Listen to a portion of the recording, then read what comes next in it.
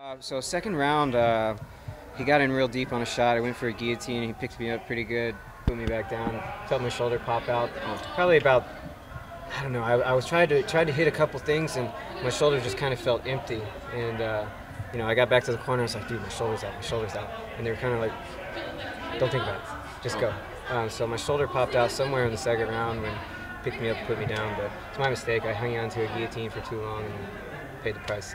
So what do you think it is? Dislocated? Uh, I think it either popped out and popped back in, or maybe a labrum tear or something. Okay. I've had uh, some small shoulder injuries before, but this one's kind of feeling a little bit, a little bit funky right now.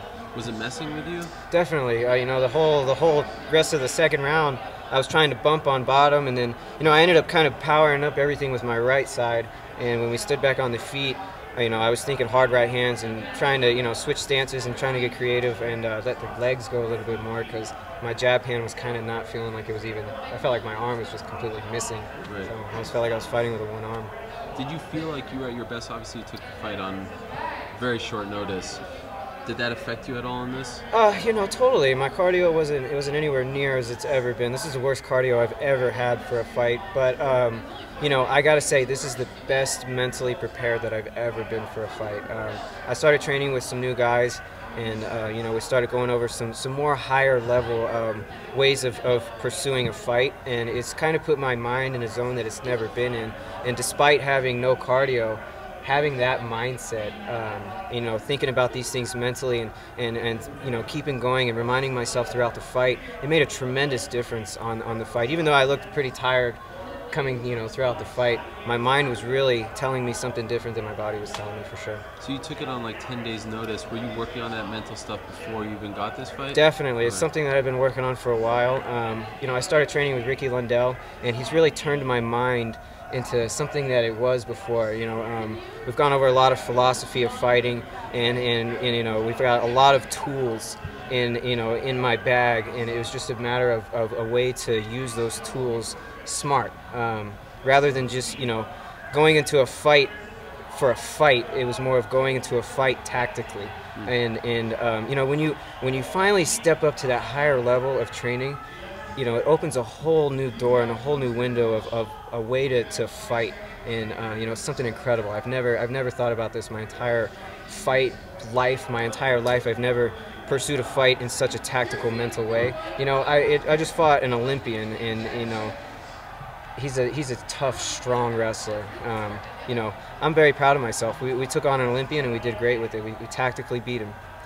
At the end of the first round, there was a little bit of a, I don't know if you want to call it an incident, but it seemed like you threw a punch after the horn sounded. Yeah, uh, you know, I have trouble hearing out of my right Yeah. ear. I gotta say that. Oh, uh, really? yeah, I'm like half deaf in my right ear. Wow, So? Uh, it was How something come? that happened when I was a, I was a baby. What happened? Uh, I put a uh, Q-tip through my ear when, I, when I was about six months old. Oh, no. And so I ended up losing a little bit of hearing in my right ear. Um, you know, plus my coaches are kind of like we were we were trying to be offensive the whole time. Um, you know, I know the time was starting to run short, and I saw that he was starting to get gas and he was hurt towards the end of the round. And so I was thinking, go go go go go. You know, the referee stopped me immediately, but um, you know, I thought I saw him running, so I went for another punch, and you know. My mistake, you know, it wasn't something I was planning on doing. It was not. I wasn't intentionally throwing a cheap Okay. shot whatsoever. Um, you know, it was just something that kind of slipped.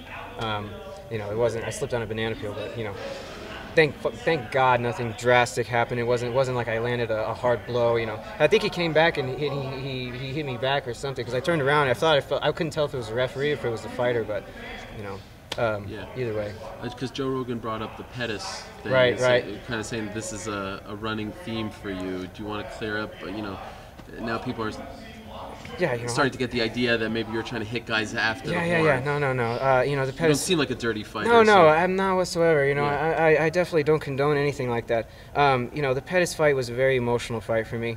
Um, you know, that was another one I slipped on a big, big banana peel. But, um, you know, if you've ever been in a fight and you've ever uh, you've ever been on the losing end of a fight and you know all the odds are against you and then you end up knocking out somebody drastically, Yeah, the emotions obviously run very very high.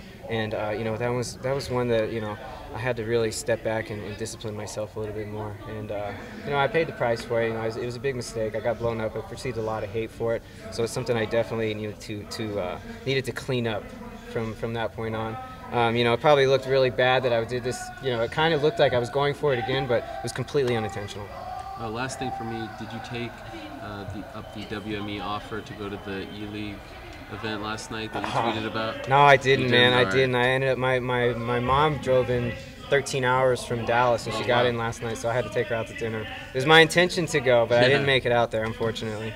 Yeah. Congrats. When you said there was a short short notice, you know, was there even any chance to really game plan, or was it just more like what you mentioned before, working on the mental aspect, or was there a game plan? You know, when it's short notice like that, you only work on game plan. You know, that's the only thing we focused on. There was no, it, I wasn't going to learn anything new. There was nothing new to learn in eight days or 10 days, whatever it was. Um, there was no cardio that was going to magically pop up out of nowhere. It was purely tactical. We only had to work on game plan, game plan, tactics, tactics. We knew that he was going to shoot. We knew the cardio wasn't going to be there, so it was tactics. That's the only thing that we could really rely on for this fight was smart tactics.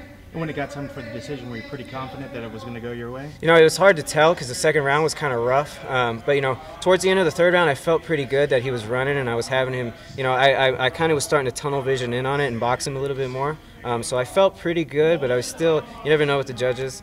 Um, how it's going to turn out, especially in MMA, because he got a lot of takedowns on me. But at the same time, I kind of gave him a couple of those, so it wasn't like necessarily clean takedowns. It was my mistake going for a submission I shouldn't have been going for, and uh, so you know, kind of kept me a little bit. I don't know, but I felt like I landed some cleaner shots on him. I felt like I landed the harder shots on him. So, you know, it was it was it was it was kind of a coin flip, but I felt like it was more on my side than it was on his.